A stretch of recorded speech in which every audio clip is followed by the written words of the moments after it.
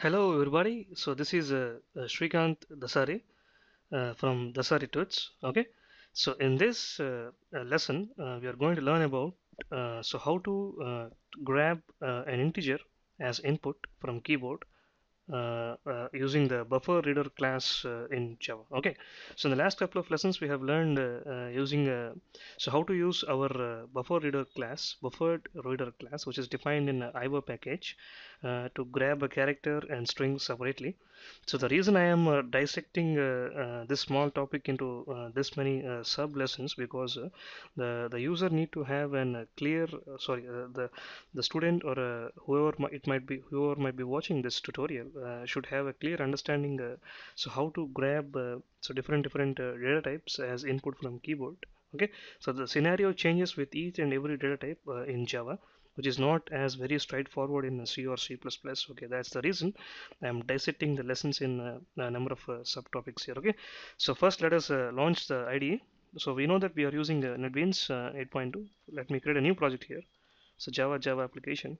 So let's name our project as buffer. So buffered uh, or it's buffered integer. So input okay. So whatever you wanted you can uh, uh, name your project. So NetBeans as usual comes with all lot of uh, uh, basic stuff here. So I've just got rid of everything and again again I am uh, typing the code from very scratch here okay? So buffered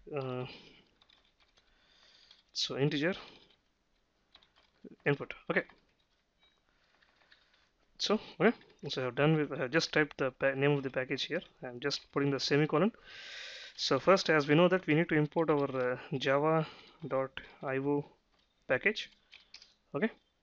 So after that uh, let's define our uh, class. Uh, okay. So the definition of the class goes like this. Class public class buffered so integer input. Okay. So done with our uh, class name so all these things are very basic stuff okay? So public static. So void main followed by string args okay so we need to use this uh, throws io exception. Exception. Okay. So we have just done with our uh, main method also okay so to demonstrate how to take an integer input using a buffered uh, buffered reader okay class so buffered reader class let's take uh, uh, three variables. So one is a string str and uh, let's take another uh, integer with two couple of integer variables i var 1 uh, and int i var 2 here okay so I've just taken a, a couple of uh, strings, uh, single string uh, variable uh, and a couple of integer variables here. Okay. So okay. So now what we are going to do is, uh, so first let us create an object for our uh, buffered reader here. Okay. So buffered reader, the object goes here like object goes like this. So buffered reader br is equal to new. So buffered buffered reader so new buffered uh, reader. And within that as we have done in the last lesson we have uh, created a new input uh, stream reader. So system.in here okay? So we have just created an object for our uh, buffered uh, reader uh, class here okay? So I've another silly mistake here. The system should be in capital S since it's case sensitive.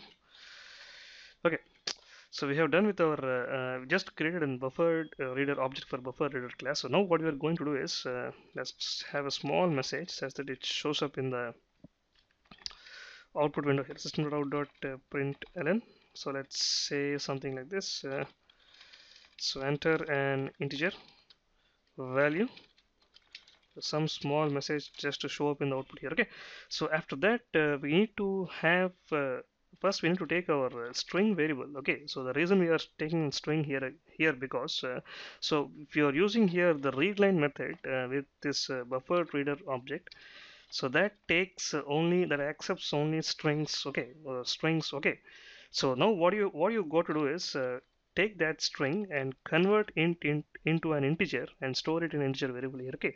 So grab the string. So whatever the output if the user gives an uh, uh, input as an integer it's stored as a string uh, because uh, the syntax of uh, br.readline method uh, can accept only strings here okay? So for that reason we have taken a, a string variable and assigned that uh, uh, readline whatever the user gives in the console window as an input which is a string and then we would convert that into a integer variable using this syntax or this method which is known as integer dot integer dot parseInt of string. Okay. So this is the basic syntax uh, we need to do something like this. Okay. Then you are eligible uh, to print it out uh, then uh, that integer in the that thing in the form of an integer here. Okay. So system dot so dot print ln so now you can say something like this uh, the integer so taken as uh, input from user is equal to so you can have your uh, so ivar 1 with the concatenation operator. Okay. So now you get the exact integer uh, you are intended here okay? So again so this is the case. We need to uh, follow the this specific syntax here okay? So if you run the program it asks us for uh, uh, to enter an integer value here. So if you press 23 it gets converted into an integer using that uh, parseInt method uh, and then you're uh, and then you're able to uh, print it out or else can do any kind of calculation with that. So apart from this syntax you can also do something like this like so apart from the above syntax you can also do something like this. So we have taken another variable here which is uh, ivar 2 okay? So which is uh, ivar 2 here okay? So you can do something like this uh, uh, so integer directly you can put both the things in one line here. So integer dot uh, parse uh, parseInt of buffer reader object dot uh, readline uh, method. Okay. So here if you observe I have done the whole thing in a single line here. Okay.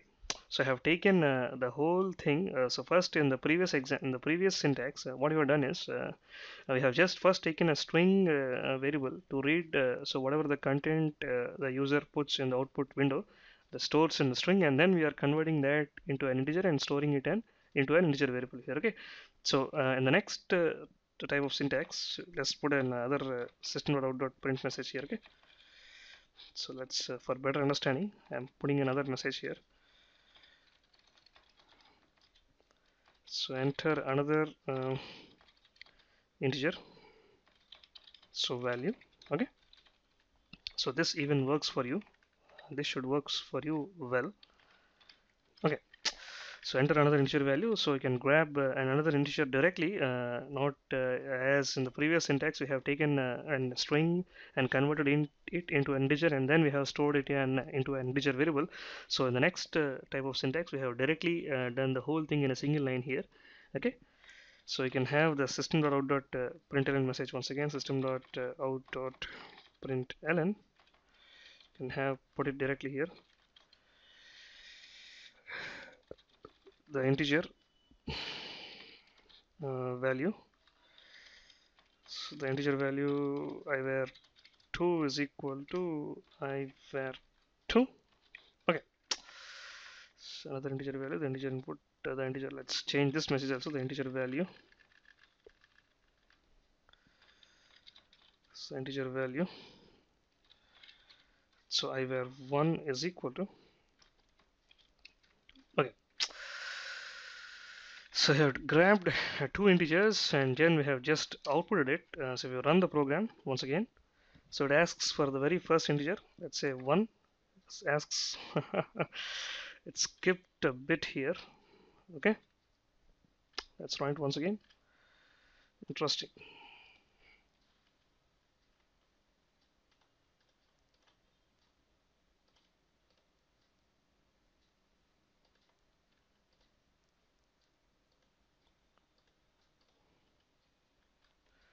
okay.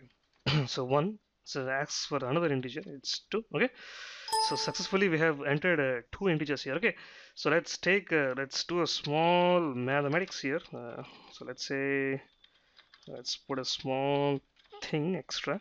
So sum is equal to so ivar 1 plus uh, ivar 2 just to prove that we have just uh, taken uh, two legitimate integers here okay?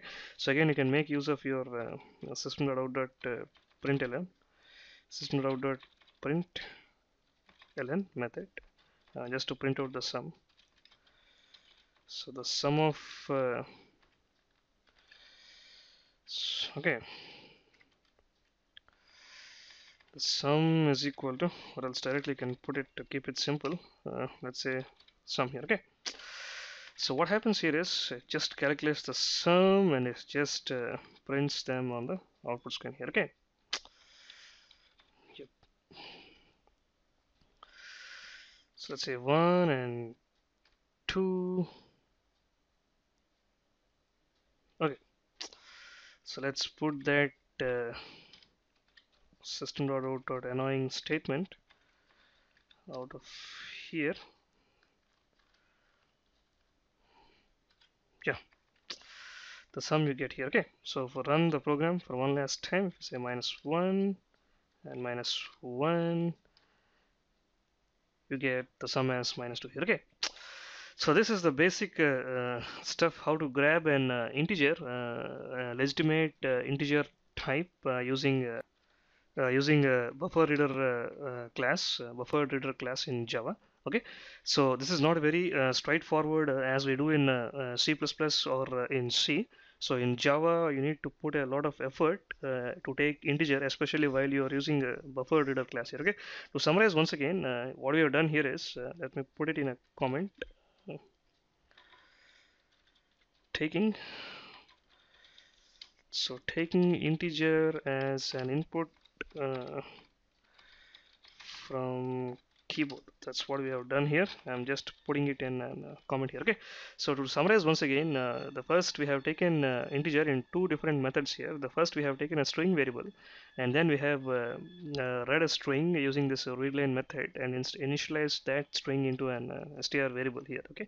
And then we have passed it unless and until you parse that or else you convert that string literal or else whatever the string you have fed into the into the uh, input uh, into an integer you can't uh, make use of that uh, you can't uh, declare uh, or else you can decide that as an integer and you can you can make use of that in your arithmetic calculations so for that reason now you need to pass your string into an integer using this integer dot parseInt method and then you have uh, and then we have taken another variable uh, in, that, in this syntax uh, in the second integer variable when you're reading we have directly put that uh, parse integer dot uh, sorry the br dot readline method uh, directly inside the integer dot parseInt method here okay? So in that way you can take grab a string from the output window and directly convert it into an integer and then store it into an integer variable okay so uh, we have just outputted uh, the both the integer values which we have uh, taken from the keyboard. And then we have just uh, calculated a small sum and we have outputted the sum here okay? So this is the basic stuff how to uh, grab an integer. So if you like the video hope it, it would help you. Um, you can get a you can give a thumbs up and uh, feel free to uh, comment on the tutorial. And don't forget to subscribe to the channel as to to stay updated with the future releases uh, of video tutorials on all topics in uh, programming languages. Okay? So until that time goodbye